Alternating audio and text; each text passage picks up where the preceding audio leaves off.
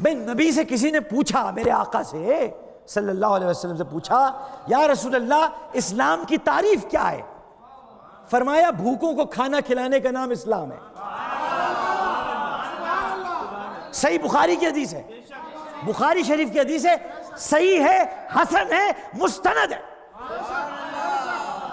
متفقن علیہ، چلو یہ بھی لیں جاؤ۔ متفقن علیہ، کہ کھانا کھلانے کا نام اسلام ہے۔ تو ہم زندے ہم زندے چاہ کر بھی ایک وقت میں پانچ ہزار لوگوں کو ایک ساتھ کھانا نہیں کھلا سکتے۔ اور وہ اللہ کی عطا سے ان کے مزارات پر روزانہ صبح، دوپہر، شام کا لنگر چلتا ہے۔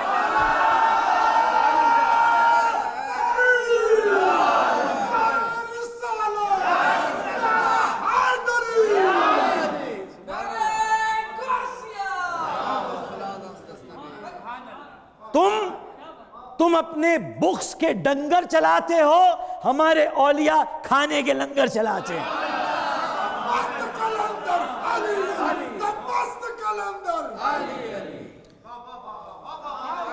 تو یہ ثابت ہوا کہ دل میں تمہارے بھی یہی ہے۔ جو ہمارے دل میں ہے، وہ تمہارے دل میں بھی ہے۔ لیکن جو ہمارے دل میں ہے، یہی مومن اور منافق کی پہچان ہے۔ جو ہمارے دل میں ہے، ہم کھل کر اظہار کرتے ہیں۔ جو تمہارے دل میں تم چھپاتے ہو۔ دل میں تمہارے بھی یہی ہے، مرا نہیں ہے، زندہ ہے۔ لیکن تم چھپاتے ہو، ہم بتاتے ہیں۔ یہ ہے مومن اور منافق کی پہچان۔